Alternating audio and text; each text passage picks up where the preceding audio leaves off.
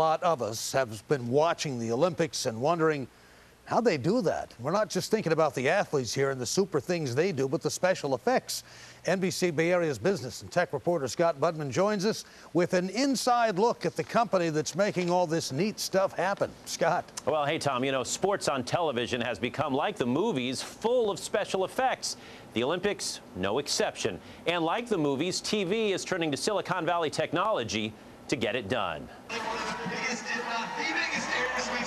To get a better view of how they do the half pipe or how those virtual flags appear on the ice during speed skating, we came here to NVIDIA. We've now turned the video into graphics. A Silicon Valley chip maker that's the brains inside your TV's special effects.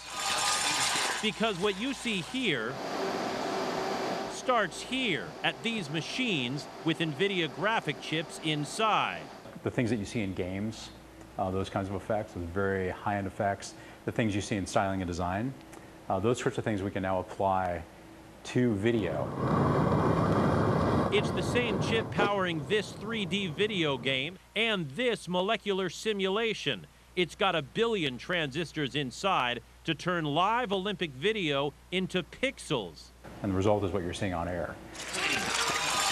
They take pride in the Olympics because of what you see. It's touching many more people's lives um, and making the, the, the enhancing the viewing experience. One pixelated special effect at a time.